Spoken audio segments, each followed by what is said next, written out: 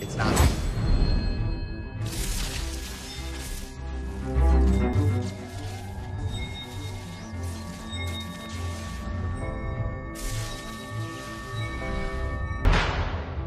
Welcome back to Director's Choice. Not all superheroes wear capes. Some also wear expensive suits, drive custom-made and named cars, and have an entire headquarters of operations all to themselves.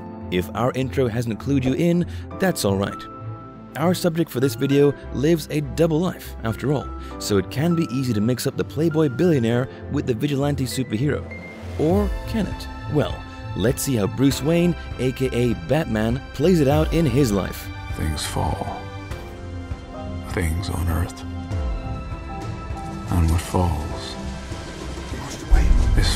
In this episode of Director's Choice, we are going to be taking night vision spectacles in a close-up look at the life, adventures, mishaps, and the whole nine yards when it comes to the story of Bruce Wayne. Rachel? I'd heard you were back. What are you doing? Ah, just swimming. Who was he before he became Batman? Did the reality behind his parents' death increase or decrease his passion for justice? How is his life so intertwined with the Joker? What does the loner mentality have to do with his superhero personality?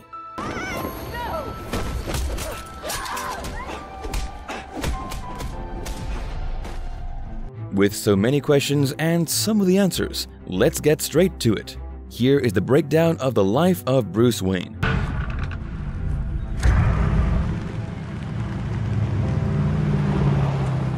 Bruce Wayne was born into a life that would have been picture perfect in every way imaginable. His parents were wealthy socialites in Gotham City. Despite their abounding wealth, Dr. Thomas Wayne and his wife Martha were very charitable. Martha Wayne wanted to set up a school for the underprivileged, but this clashed with the Court of Owls, who were against progress in Gotham. Enough of this. You are the leader of the court. No one disputes that. But you absent yourself from Gotham for years at a time. Decisions had to be made. The ruling council stands by its actions. When Bruce was three years old and his mother was pregnant with her second child, the Court of Owls ordered a hit on them. It got executed in the form of a car accident, and while Martha and Bruce survived, the unborn child died. And from then, the Wayne family were consistently on the hot target list for the Court of Owls, primarily for their philanthropic activities. Thomas Wayne stood against the court. He threatened to expose us. He paid the price. After his father's death, Alfred Pennyworth arrived at Gotham City and became the new butler to the Waynes. Before all this, before Batman, you were gone seven years. Seven years I waited, hoping that you wouldn't come back. When Bruce was about six or eight years old, he and his parents went on a family outing to watch The Mark of Zorro at the Monarch Theater in Gotham City. After the show, the trio made their way home, but the decision to take a shortcut led to tragedy and the redefinition of Bruce Wayne's life. As they stepped into the notoriously dangerous and aptly named crime alley, Bruce, his father, and his mother were confronted by a mugger, Joe Chill. At the time, the accosting was perceived as a targeted hit by the Court of Owls. Joe Chill had just been a random mugger who recognized the Waynes and thought he could make some money off robbing them. Unfortunately for Thomas and Martha, Joe Chill got spooked off and shot them, leaving Bruce with the dead bodies of his parents.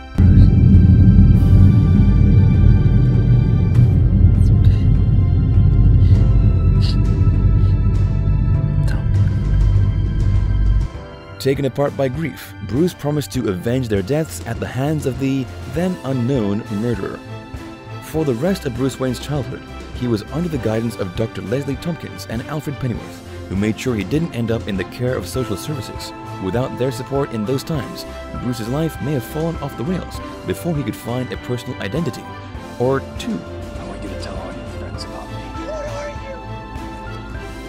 I'm Batman.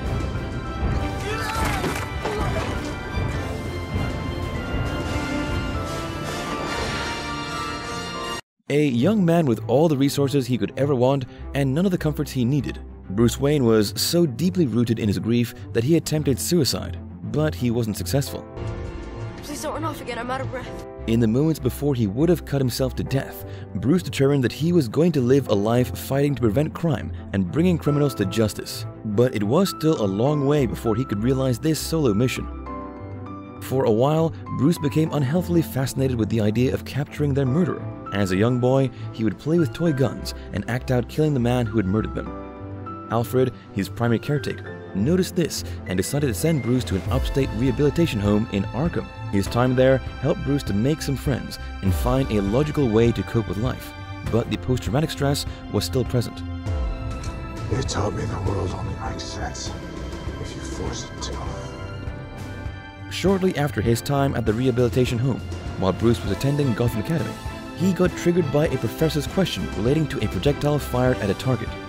The search for a deeper meaning to his parents' deaths led Bruce Wayne to an empty answer and a larger purpose. You're part of this too. How am I part of it? You'll see. Bruce Wayne started traveling the world in search of something to give his life some meaning, learning that his parents' deaths weren't part of a grand scheme or master plan. Over and over again, left a gaping hole in his vengeance plan. He needed to redirect those feelings into something else. So Bruce spent time across the world picking up intellectual skills and physical training under extreme conditions. His new mission was to ensure that the world was rid of any type of evil, similar to the one that led to his parents' death.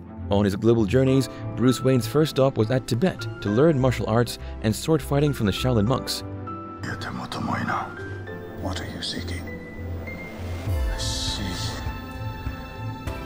Don Miguel, a Brazilian criminal, taught Bruce how to race cars, and he got his stealth training from a master at the Hida Mountains of Japan. Over the years that he spent abroad, Bruce studied technological gadgetry, criminal psychology, and forensics. He endured grueling training from nomads and trained in martial arts with Chu Ching Li and Tsunetomo. I never remember. Like these brothers. We are dying. To know life in every breath, every cup of tea. Bruce Wayne trained under Henri Ducard in Paris, but he soon left after finding out that Henri killed the people that he hunted as targets, which Bruce didn't agree with based on principle. Almost seven years after his disappearance from Gotham City, Bruce Wayne returned at the age of 25, and after an eye-opening first night out as a vigilante, Batman was born. Have you told anyone I'm coming back? I just couldn't figure the legal ramifications of bringing you back from the dead. Dead? You've been gone seven years. You have me declared dead. Well, actually, it was Mr. Earle. He's taken the company public. From his years of training, Bruce Wayne had become a living weapon, though without supernatural powers, as he was well on his way to becoming a vigilante. On his first attempt at being a hero, he wore casual clothes and barely survived. Returning to his study at the Wayne Manor, Bruce decided to reassess the situation, and he knew that being a vigilante to protect the innocent meant that he had to create fear in the criminals.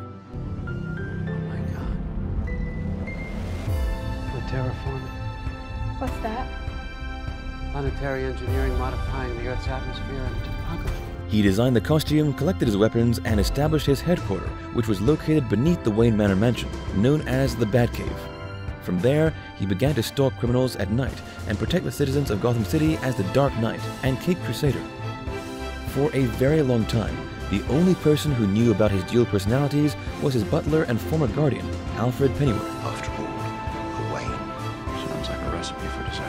Bruce Wayne as Batman began to spread terror among the criminals of Gotham's underworld, and this led him to fight off some of the worst villains in comic book history, including, of course, the Clown Prince, aka the Joker. Speaking of which, you know how I got these scars? No. But I know how you got these.